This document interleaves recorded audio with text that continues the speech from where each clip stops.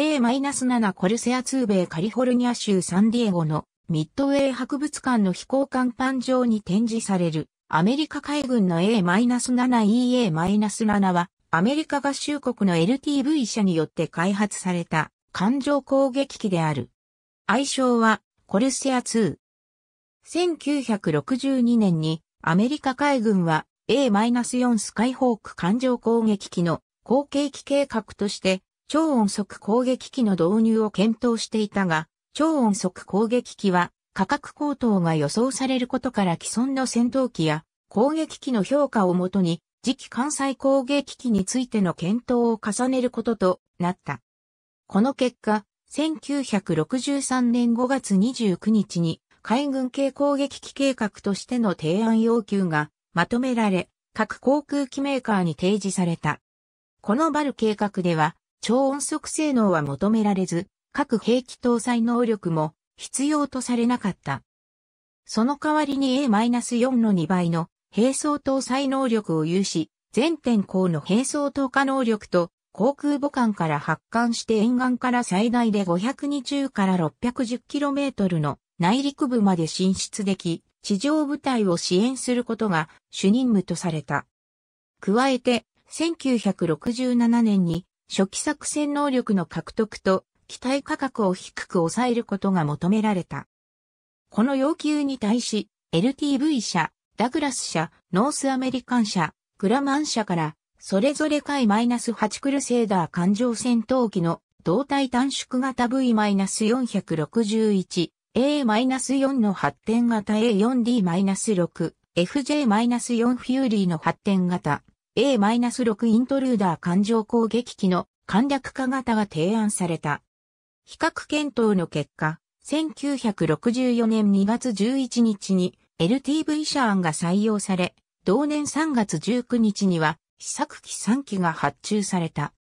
LTV 社の V-461 は、回 -8 をベースにして、胴体を短縮し、機体構成は回 -8 に酷似した高翼機となったが、青音速機であるため主翼の前縁高体格が減少し、アスペクト比も大きくなっており、翼圧が厚くなったほか、内部燃料タンクも増設された。また、主翼取り付け核可変機構が撤去されて簡略化が図られているが、代わりに、後円フラップなどの高揚力装置が強化されている。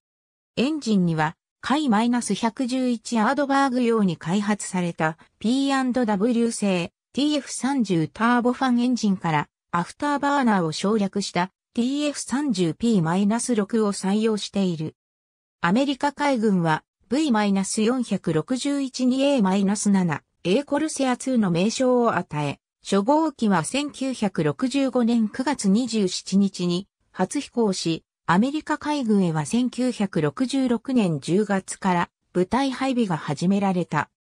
ただ、A-7A は前足の直前に巨大なエアインテークがあることから空母からのカタパルト射出時に蒸気を吸い込んで、コンプレッサーストールに陥りやすいという問題があった。この問題を解決するには、離陸重量を下げ、エンジン水力を落として発艦するしかなかったが、根本的な解決方法は、エンジン乾燥しかなく、エンジンを設計変更して水力を向上させた TF30P-8 エンジンに乾燥した A-7B が開発されている。なお、アメリカ空軍では、海 -100D スーパーセーバーの後継機となる戦術戦闘機として、アメリカ海軍のバル計画に着目して A-7 の採用を決定した。アメリカ空軍向けの機体は A-7D と呼ばれ、初号機は1968年4月6日に初飛行している。アメリカ空軍への A-7D の引き渡しは1969年5月15日から開始され、最初の16機は空中給油機材が海軍式のプローブとなっていたが、量産17号機からは空軍式の空中給油リセプタクルになっている。海 -8 クルセーダー戦闘機を元にした結果、単発エンジン、高翼配置の主翼、機種化のインテークなどの基本配置は同じである。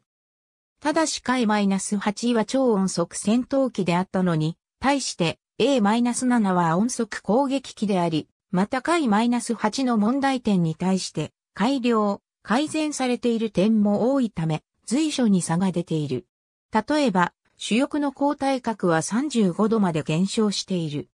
また、胴体側面にもハードポイントを持ち、胴体仮面に大型のダイブブレーキを装備している。膠着装置は、回 -8 のものをそのまま採用している。これはさらに、LTV 社が製造に協力した S-3 にも引き継がれている。なお、A-4 は戦闘機並みの運動性能を持っていたが、A-7 には要求されなかった。アメリカ海軍のほか、ギリシャ空軍、ポルトガル空軍で採用された。また、現在でも中国機を購入した対応国海軍が陸上基地より運用している。一方、海軍における高性能ぶりに目をつけたアメリカ空軍においても、近接航空支援用に採用された。この近接航空支援というのは、味方陸軍の地上部隊を支援し、敵陸軍地上部隊を攻撃するというものである。最初は超音速戦闘機を当てたが、超音速性能はこの任務には全く不要であり、むしろ低速での運動性の方が重要とされたため、本機に白羽の矢が立ったのである。空軍では、コルセアという名が嫌われたせいか、スルーフなる愛称が使用されている。なお、中古機を運用している大海軍は A-7 を海賊の撃退にも当たらせている。ちなみに空軍における近接航空支援向けの機体としては、後に A-10 が新規開発されて本機の後継機となった。なお、A-10 は特定用途に変調した性能が逆に問題となり、後に後継機候補として全人気の改良型 A-7F が開発されるという先祖が襟のような出来事もあった。しかしながら、A-7F は、すでに空軍に採用されていた海 -16 向けに CAS 任務対応の並走が開発されたことや、部隊編成の見直しから、同じく後継機候補だった A-16 と共に不採用に終わっている。A-7 のランディングギアのブレーキは、グッドリッチが開発を担当したが難航。データを不正に改ざんして空軍に提出した。しかし、これを開発責任者が弁護士、担当技術者と共に FBI に告発したため、空軍はブレーキの受け取りを拒否した。これは内部告発の恒例としてアメリカの技術倫理の講義で頻繁に用いられている。海軍向けの A-7A、A-7E と空軍向けの A-7D がベトナム戦争に投入された。1986年にはエルドラドキャニオン作戦によるリビア爆撃にも用いられた。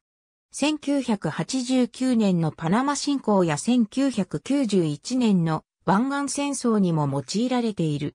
その後、アメリカ海軍では1991年に、空軍でも1993年に退役している。A-7A の実戦投入は1967年の空母レンジャー搭載馬 -147 が最初である。12月4日より戦闘出撃を開始した。